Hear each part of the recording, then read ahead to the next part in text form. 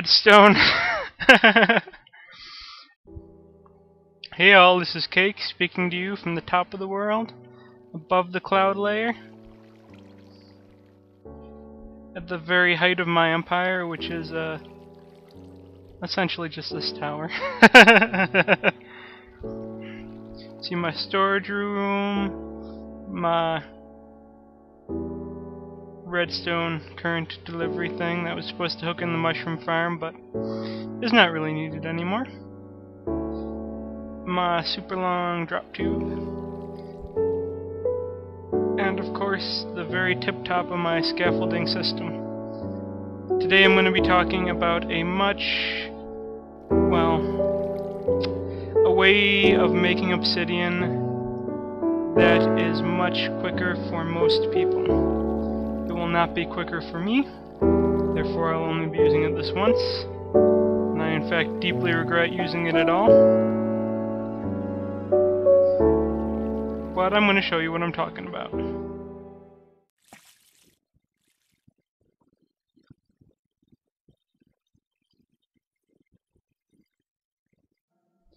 Alright, now that we're at the bottom here, you can see where I've been experimenting with this a bit already. The entire back wall in this case, unlike my normal scaffolding where only a row at a time, is going to be uh, water. Because we're doing this row by row instead of column by column, and that speeds stuff up. For those who don't know about the info obsidian bug, info obsidian? Info obsidian. I'm going to call it the redstone obsidian bug. When moving lava tries to turn into cobblestone in a square, it will transform any redstone. It will transform into obsidian instead if there's any redstone in that square. Notch knows about it. He said he has no plans to fix it, so it's not a bug, it's a feature. And if you don't use a lot of redstone, I hope this is going to be really useful to you. If you watch, Lava travels. Travel a little more. You can turn a whole bunch at a time into obsidian. If you're working with longer rows, you have, may have to replace. But it's still relatively quick and easy for those that don't need the redstone for something else. In fact, I've noticed a lot of people in their Let's Plays just completely ignore redstone because most people don't need a lot of it. I need a lot of it.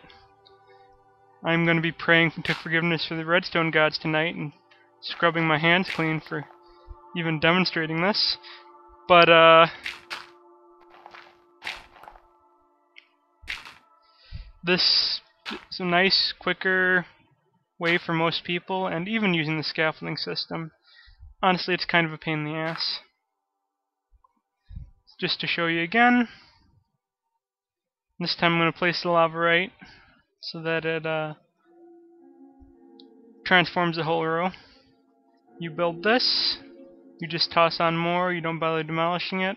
and you go to the next level, you take your lava, you toss it down.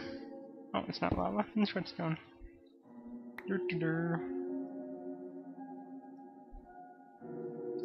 And because of this wonderful feature, Love how I'm picking fun at myself. The uh, redstone turns to obsidian. You can keep doing this all the way up, do as many as you like. Even testing this, I've finished up a couple of rows, which... Oh, my poor redstone! but when you're done, you'll only have to deal with a column of dirt. This you don't have to replace. You don't need overly complicated systems like the other Infobsidian I've seen. Just a falling curtain of water and a little tiny dirt mold that you build up as you complete the levels. Myself, I will be sticking to what I know and I like and what doesn't use all my redstone, which is floating up on the waterfall, placing the block down. That's scaffolding. That's the method I invented. This seems a little buggy to me, but obsidian is hella hard to work with, and if you don't like using inventory editors, because they're kind of cheap, this is kind of the way to do it. If you want to use a scaffolding method, more power to you. But this will work for the non super large amounts of redstone using people.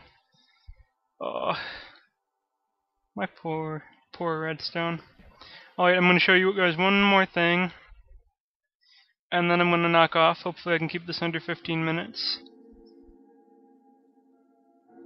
So that I don't have to split up my video for the YouTubes.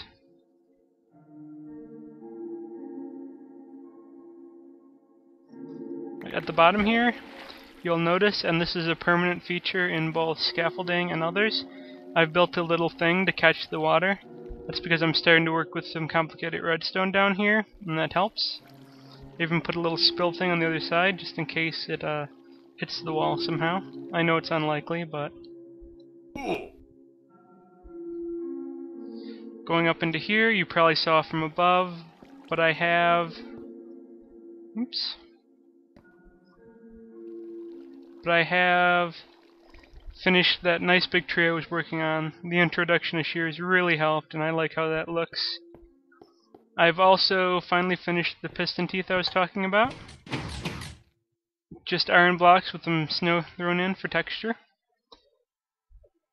And I'm probably going to have it so I can turn off the lights in these. If anyone's interested in this, let me know. I can maybe try to post a tutorial if I have the time between some other things I'm working on. And if you like, thumbs up, subscribe, tell your friends, write your congressman, track down Notch and tattoo it to his forehead forcibly. I don't care. Any will work for me. Alright, have a great one, guys. Bye!